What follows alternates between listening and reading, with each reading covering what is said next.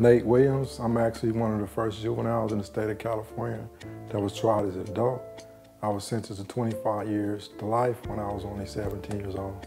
My experience with the criminal justice system is that being one of the first juvenile tried as an adult, when I was sentenced, I remember commercials saying, use a gun, go to prison.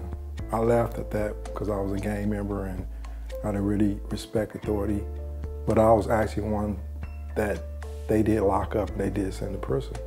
When they, I was only 17 when I was arrested, it was given a fitness hearing and they felt my crime was more sophisticated and that they that if I would have went to the California Youth Authority, I would have got out when I was 25 and they felt that I needed to do more time. So the only other thing to do was to was to reject me and send me as an adult to prison, which was 25 years of life.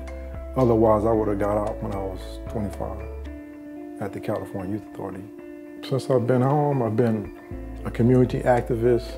Um, I'm a part of ARC. We lobbyists. We um, we help people get their degrees in school. Um, but the lobbyist part, um, what I do is go to state capitol with other gentlemen just like myself that's successful or that's doing positive things. We put on suits and go talk to the mainly the Republicans and tell them a, a bit about ourselves. We don't argue with them. We just tell them like, yeah, we was troubled youth. We was in the system. We changed our life. We're successful stories. And we leave. And that paints a picture towards if they see Nate Williams or they hear Nate Williams' name, they're going to think of me in a positive note as opposed to turning on TV. And if they see like the news, the news always portray us as going to jail and coming back out and going right back in.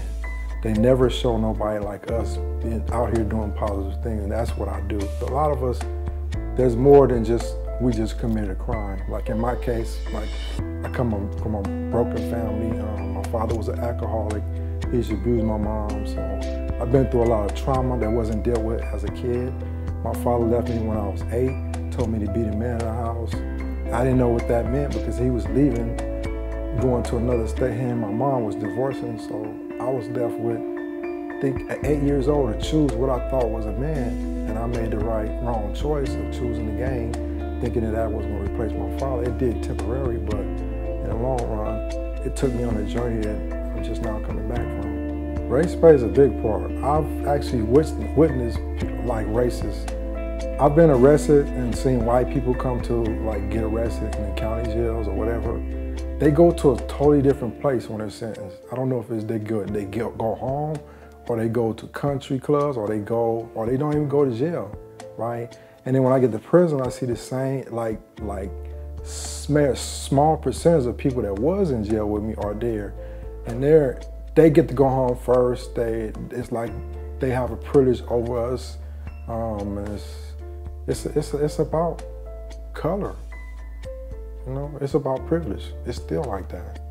I think I've worked on a project with Frank Gehry. He's a famous architect. His students actually built models of what a what a perfect prison will be, a modern prison will be. And they didn't have no guards. Their prisons were based on community centers, and they didn't even look like prisons. And that's the type of, I would say, restorative justice that I think will work. Get rid of the guards, get rid of the police. Have actually community members, I won't, I won't say police, but counsel them and help them.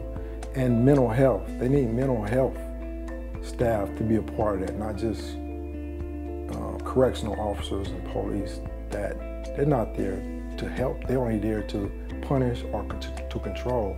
We need people that's gonna really tap in their mind and, and get these people to understand what's the cause factors of the reason why they're acting the way they act, what led them to do the things they did, and more importantly, how to help them get them treatment to where they can rehabilitate themselves or you have staff that's really there to rehabilitate them.